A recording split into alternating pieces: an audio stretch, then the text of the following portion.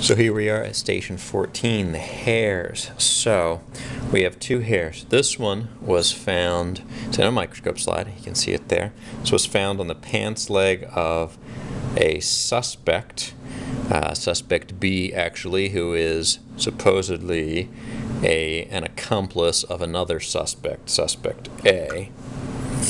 This hair you can see it at a certain angle there.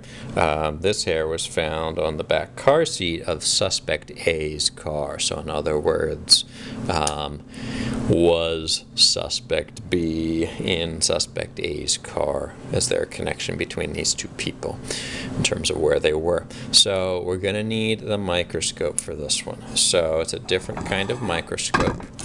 Last time I used a dissecting scope. This is a regular compound microscope.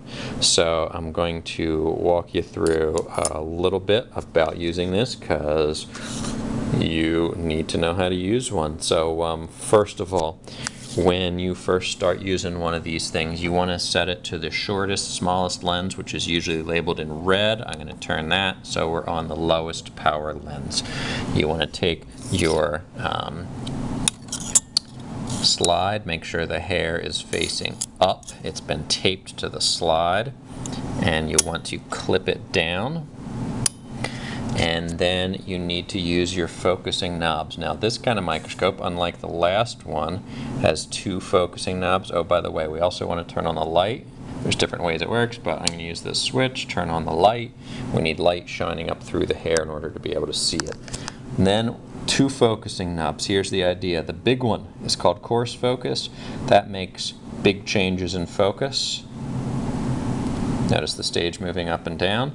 And this is the fine focus that will make the last few little adjustments that you may need. And I don't know how well this will work through the microscope.